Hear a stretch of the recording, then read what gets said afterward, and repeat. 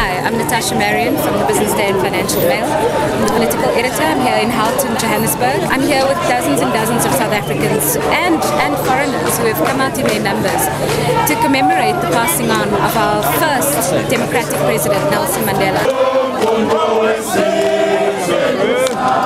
The 2014 election is going to be the first election which you can vote in. What's the significance of being able to vote? As myself, I would I would vote to make a difference, and I would vote for the, a particular party. I will shall not say, but um, I'd vote only because that my vote would make a difference to our country. Look, I think uh, the, the, struggle uh, was a different struggle to what we, the young people of this generation, are facing. Nelson Mandela's generation fought for a political struggle. Uh, we are in a different time, a different struggle for economic emancipation. I think, if anything, this gives us even more power to fight on.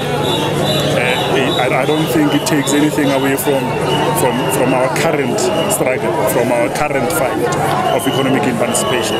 Today, um, we put political differences aside.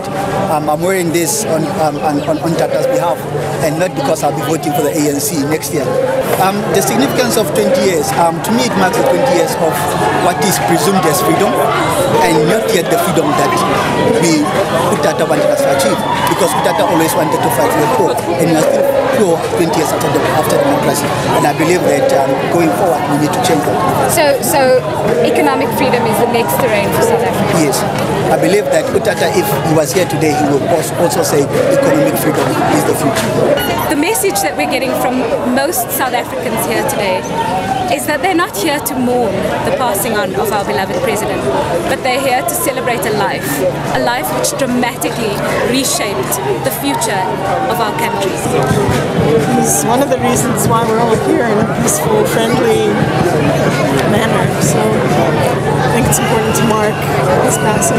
This little one will be able to vote, and I'll be voting, of course. Um, yeah, I mean, I'll vote for the future of South Africa.